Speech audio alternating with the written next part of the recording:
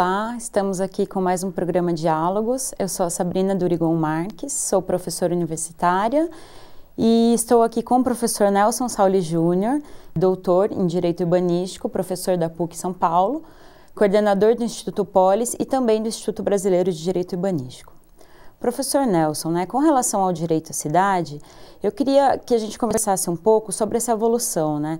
Desde a Constituição de 88, a gente tem né, o capítulo da política urbana, que foi uma luta dos movimentos sociais para a inclusão desse capítulo na Constituição. E posteriormente a gente teve também, né, após muitos anos, o, a, o, a garantia do Estatuto da Cidade, né? E ao mesmo tempo a gente tem essa, esses direitos positivados e, por outro lado, as manifestações de 2013, que em princípio eram manifestações que lutavam pela, pela questão da, do transporte público, né, da tarifa de ônibus, e, por fim, muitas análises, né, como da professora Emina Maricato, por exemplo, foram de que é, se tratavam de manifestações pelo direito à cidade, pela questão urbana. Né? Como que se dá essa relação do direito né, é, positivado com um direito que está posto né, para a luta, que que é uma reivindicação dos movimentos sociais. Como que a gente teve? A gente teve avanço nesse período? Como que se deu isso?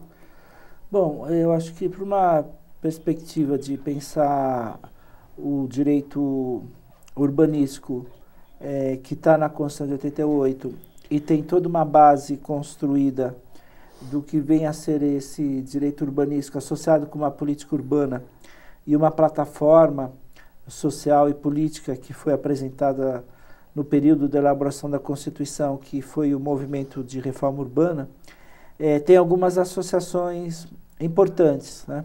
Primeiro que essa plataforma que foi apresentada nesse período já trazia essa concepção de que lutas sociais que se, eram travadas nas cidades pela melhoria do transporte, pela melhoria do, das condições de vida dos moradores dos bairros da periferia, pela urbanização das favelas, né, pela solução dos conflitos eh, fundiários existentes eh, tanto nas áreas privadas e áreas públicas, né, e, e principalmente uma vontade, um desejo de ter participação mais efetiva nas, das decisões e no processo de uma democracia no, no, no país, é, gerou essa plataforma da reforma urbana, aonde a base né, e o eixo dessa plataforma foi o campo dos direitos, dos direitos humanos, só que trazendo uma concepção de um direito que foi sendo construído é, não apenas por setores tradicionais, né, é, vamos dizer assim, juristas, pessoa, pessoas mais da, da academia, uhum. mas, e não somente técnicos, mas também trazido por grupos e movimentos sociais. Foi uma simbiose importante né, para pensar o que significaria esses direitos urbanos e, e isso gerou uma possibilidade de termos hoje né, um direito urbanístico que ainda está em construção, em desenvolvimento, mas apontando para perspectivas muito associadas com o que é o direito achado na rua, porque, na verdade, as bases desse direito urbanístico, do direito à cidade, foi muito fruto de, a, de uma tradução, uma da leitura dessas lutas sociais. Né? Um exemplo que eu posso dar é um instituto que é, é da posse, né? que é um instituto que está no nosso Código Civil de 1916, que vem da discussão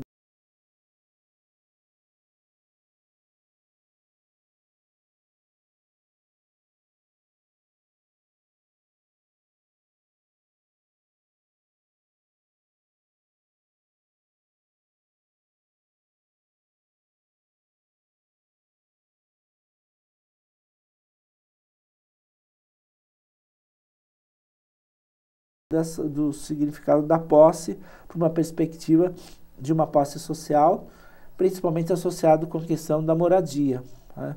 Então, é, institutos tradicionais, como o uso capião, que vem desde o direito romano, nós trouxemos uma outra leitura né, para a proteção uhum. da moradia né, das populações mais carentes, mais necessitadas, que vivem nas favelas, nos assentamentos formais, como uma forma de constituir um direito né, coletivo dessa população, o direito de tanto proteção à moradia e melhorar suas condições de vida. Né? é, nós quebramos o regime dos bens públicos né, com essa leitura quando se admite que quem estiver na posse de áreas públicas para fins de moradia tem o seu direito subjetivo de até pleitear no judiciário esse direito. Né? E com aquela concepção tradicional dos bens públicos indisponíveis, intocáveis, né?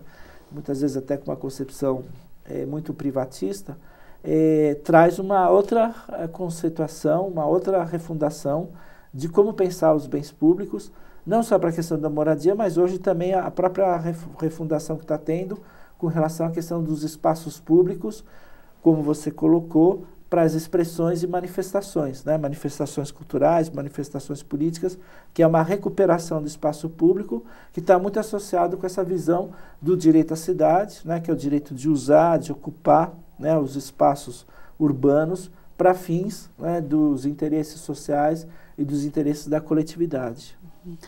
Aproveitando, Nelson, que você tocou nessa questão da posse, né? A gente tem é, a função social prevista na Constituição, tem os instrumentos que garantem seu cumprimento, né? Então, é, a edificação compulsória, né, o IPTU progressivo, a desapropriação sanção. E uma pesquisa recente da professora Rosana Denaldi, pela UFABC, em parceria com a SAL, no Ministério da Justiça, retratou que a maioria dos municípios brasileiros, né, mal conseguiu implementar isso de fato, né? Alguns municípios chegaram ao IPTU progressivo, é, muitos com dificuldade mesmo para saber como seriam cobrados, dificuldade para notificar, e nenhum deles teria chegado até a fase de desapropriação sanção, apesar de não ser um instrumento novo. Recentemente, na própria discussão da aprovação do novo Código de Processo Civil, também é, essa questão voltou à tona, né, com essa dificuldade para se inserir esse instrumento, como se já se fosse um instrumento ultrapassado, quando na verdade a gente mal conseguiu implementar os mecanismos para sua garantia, né. Então eu fico pensando, né, como, como que a gente efetiva, né, adiante dessas dificuldades, essa função social da propriedade, em, em comparação com a questão da posse, que é, uma, uma, é uma, um debate novo que vem sendo feito, né? Se a regularização pela posse é mais ou menos importante que a regularização pela propriedade, a gente basta garantir o direito à, à posse, ou ele, ou ele é mais, é, ele não dá a segurança que a propriedade dá? Né? Como que se dá essa relação? Ou então só a população de alta renda pode ter o direito de propriedade e a população de baixa renda só a posse, né? que seria mais inseguro. Como que você vê isso?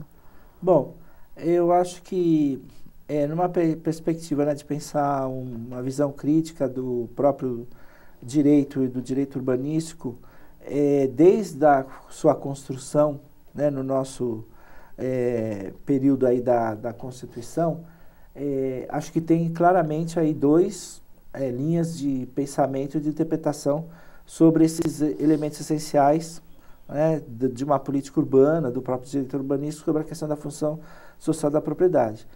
Numa perspectiva, vamos dizer assim, uma postura crítica, né, no pensamento crítico e até transgressor, é, é da efetividade e da alta aplicabilidade de instrumentos que estão dentro do nosso sistema para viabilizar né, o cumprimento dessa função social da propriedade e, por sua vez, da função social da cidade, onde entra a questão da posse muito clara, né, a posse social.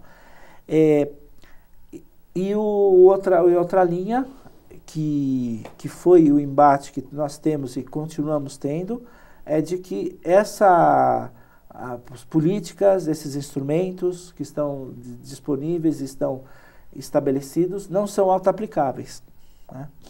E, e, e, enquanto é, tiver né, um pensamento que não seja inovador e crítico de que é possível auto-aplicação desses instrumentos, né, porque a Constituição delegou para ter uma lei federal, que é o Estatuto da Cidade, depois delegou para um, para um plano diretor, depois delegou para uma lei municipal para aplicar esses instrumentos, né? depois provavelmente para um decreto para ir realmente chegar aos instrumentos.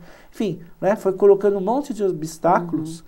para uma efetividade né? com relação a que, de fato, na cidade, as funções essenciais é, da, referente aí aos interesses dos, dos habitantes se concretizem. Então, numa perspectiva de um pensamento crítico e até transgressor, nós é, temos contribuído para que essa interpretação né, seja refundada, né, no sentido de que os instrumentos existentes são passíveis de serem auto-aplicados e a eliminação né, desses obstáculos existentes. Né, desde uma perspectiva de, a partir do momento que se identifique que não está tendo numa cidade é, uma perspectiva de um cumprimento de uma função social, né, aqueles movimentos e aqueles grupos sociais possam estar né, tá ocupando esses espaços né, e dando efetividade concreta para aqueles espaços de uma função social, não só para moradia, hoje não só no Brasil, mas em outras cidades do mundo, muitos desses espaços né, que estão abandonados, prédios, edifícios ou até espaços públicos, estão sendo usados principalmente para fins culturais, né, artísticos, né, com uma outra perspectiva de uso da ocupação do espaço da cidade. Né.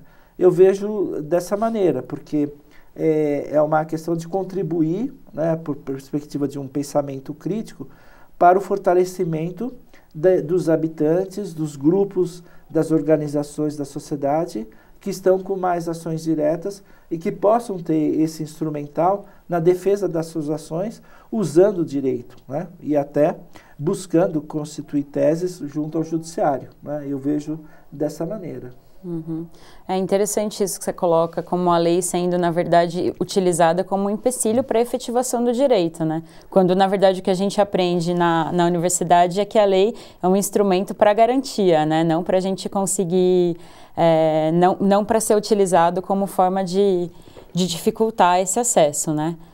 Uhum. É, é, exatamente, e... até porque acho que numa perspectiva de um ensino crítico e associado com o direito achado na rua, é a construção de, de teses e de pensamentos né, é, que os obstáculos existentes dentro de um ordenamento jurídico né, possam até ser considerados ilegais e legítimos, buscando desde os princípios e das normas internacionais de direitos humanos né, e até os próprios princípios fundadores do Estado Democrático de Direito. Né. Uhum. E, e aí um Código Civil, como é, você estava mencionando, que impede o direito de defesa, né, ao contraditório, né, a, para as populações que estão nessa situação da posse e desses conflitos fundiários urbanos, né, onde é, o, o, o, judiciário praticamente não ouve, né, não garante de defesa, claramente co contraria essas normas de direitos humanos básicas, né? uhum. o direito ao contraditório, ampla defesa, e, e essas garantias que uhum. são mínimas né, dentro de um Estado democrático de direito. Uhum. Pensando né, sobre essa perspectiva da resistência, né, é, e fazendo o link também com a questão do direito à cidade, o direito achado na rua, a gente tem diversas iniciativas do coletivo Direito Achado na Rua buscando garantir é, o direito à moradia, né? Então, é um dos exemplos, acho que talvez o mais emblemático, porque até o professor Zé Geraldo, né, coordenador do, é, do direito achado na rua, é, atuou em defesa da população, foi a Vila Tele Brasília, né, que está aqui é, em Brasília desde o início da construção da cidade e conseguiu resistir até hoje, né, esse ano faz 50 anos, numa, numa área nobre, né, da região. Então, lutando pelo direito à moradia e até hoje conseguindo é, resistir e fazer com que os sucessores é, consigam morar lá também, né. E a gente vê que isso não é uma realidade, né? Que o direito à garantia, o direito à moradia está previsto também na Constituição. A gente tem diversas legislações é, trazendo essa, essa previsão, né? a efetivação uhum. da previsão.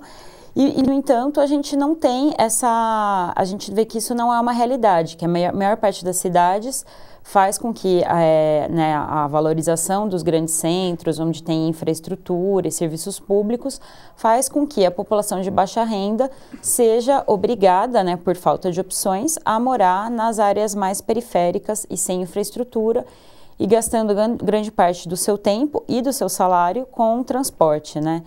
Como que, como que a gente pode é, transformar, unificar essa luta pelo direito à moradia e tentar mudar um pouco essa realidade das cidades? Então, a, essa questão da associação do direito à moradia com o direito à cidade significa nós compreendermos o direito à cidade como um direito das atuais e futuras gerações, de terem o direito de usar, ocupar, produzir cidades inclusivas, democráticas, justas, e tendo uma noção de que essa cidade é um bem comum. Né? A partir do momento que você tem essa noção de que a cidade é um bem comum, você traz aquela noção, por exemplo, da proteção de cidades dentro do campos culturais. Né? A cidade como uma cidade histórica, uma cidade que tem um patrimônio cultural, que você vai ter uma proteção daquela cidade como um bem jurídico. Então, essas áreas que estão, como você colocou, né, é, já ocupadas, consolidadas, né, mais do que ser apenas uma área que tenha uso protegido, se a gente trabalhar com esse conceito de bem comum, elas podem se transformar também numa perspectiva de um bem jurídico protegido, como um bem social, né? dentro da perspectiva dos bens ambientais, dos bens culturais. Eu acho que essa é uma, uma contribuição que nós temos que fazer né, nessas leituras mais inovadoras e buscando dar efetividade né, para esses direitos.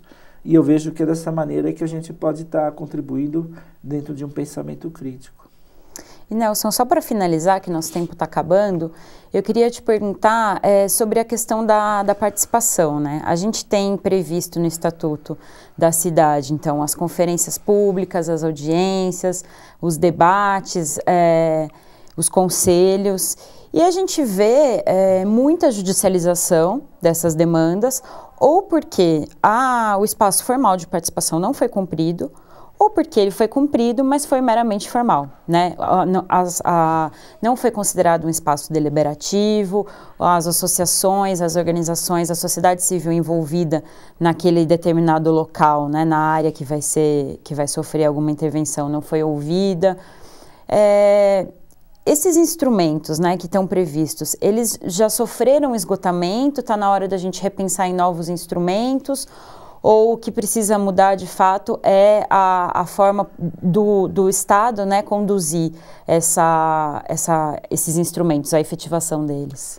Bom, se a gente for verificar quais os instrumentos que foram defendidos de participação popular na Constituição, né, três instrumentos que estão lá no artigo 14 da soberania popular são os menos usados, né, que é a iniciativa popular, o referendo e o plebiscito que são justamente instrumentos que dão uma maior, vamos dizer assim, empoderamento para a população. Né? Um empoderamento para apresentar num patamar igual a o, um chefe do executivo, do legislativo, propostas de leis ou projetos estruturantes para uma cidade, por exemplo. Né? Um referendo, um plebiscito que possa, que, por exemplo, você tem um plano diretor que vai ser aprovado no município, né? que passou pela Câmara, mas para ter uma legitimidade. Até se tem instrumentos voltados para a promoção de uma reforma urbana, ele tem mais força política se ele tem um respaldo popular. Né? E esses instrumentos são justamente aqueles que há uma resistência muito grande de serem até regulamentados, até hoje, né? e seriam utilizados. Então eu vejo que há uma experiência dos instrumentos, vamos dizer assim, eu, eu chamaria de baixa né, é, efetividade de participação, e aqueles que dariam maior empoderamento de participação, nós ainda nem experimentamos e vivenciamos de forma adequada. E, e eu acho que isso está associado com uma perspectiva de fortalecimento dos instrumentos da democracia direta e participação, que é um elo-chave para pensar o, todas as questões das cidades, uma perspectiva de cidades democráticas e cidades cidadãs, né, e sem discriminação, sem preconceito e de empoderamento dos habitantes. Né? E, então eu vejo que ainda nós temos que evoluir para realmente aplicar esses instrumentos aí nos processos de tomada de decisões estratégicos nas cidades. Uhum. E para finalizar, então, Nelson, você vai ser um dos representantes do Brasil na conferência da ONU no Habitat em, no Equador em outubro. Como foi esse processo aqui no Brasil e o que, que a gente está levando para apresentar? Bom, é, com relação ao Habitat 3, acho que o Brasil está levando justamente é, dois componentes. Um são as experiências que já existem nos municípios com relação ao direito à cidade. Né? Há uma é, necessidade de demonstrar o que significa implementar o direito à cidade, que vai desde ter, por exemplo, políticas de urbanização e regularização né, das áreas ocupadas por população de baixa renda, é, políticas que estejam voltadas hoje ao reconhecimento de direitos de imigrantes e de refugiados com a, o acolhimento do poder público, como ocorre hoje em São Paulo, né? é, a perspectiva de ter instâncias de participação com eleições, como existem algumas cidades que criam esses espaços, como por exemplo dos orçamentos participativos. Né? É, então, no Brasil existem experiências bem concretas nos municípios de como pode se estar desenvolvendo esse direito à cidade. E das lutas sociais. Né? Também aqui no Brasil você tem muitas é, organizações e movimentos sociais que estão na efetividade aí do direito à cidade através das suas lutas sociais. A outra é a concepção do direito à cidade. Então a gente tem contribuído muito de trazer essa noção que está sendo é, um, um processo bem difícil, de um direito humano coletivo. Né? Tradicionalmente, no campo dos direitos humanos, mesmo das Nações Unidas, é muito difícil esse entendimento de direitos coletivos. Então, essa é, é uma questão chave né? de trazer essa visão de o direito à cidade ser o direito dos habitantes e que as responsabilidades né, elas são tanto né, do poder público, mas também gera um empoderamento dos cidadãos para efetivar esse direito, que é justamente aquela ideia de uso, de ocupação e de produção das cidades dos habitantes como sujeitos é, estratégicos né, para pensar o desenvolvimento das cidades. Então, dessas duas formas que a gente está trabalhando, e é claro que existem resistências né, de pensar em novos direitos. É, alguns países, né, como os Estados Unidos, não admite que se discuta novos direitos nesse processo do Habitat 3, só que há uma agenda para 20 anos. Né? Então, nós temos que. É o momento agora do direito à cidade se transformar uma questão central para uma agenda né, para cidades para os próximos 20 anos. Uhum. E é dessa maneira que a gente está trabalhando e são os desafios né, para essa conferência. Então, obrigada, professor Nelson. Esse foi mais um programa Diálogos da UNBTV. Obrigada por assistir. Continue com a gente.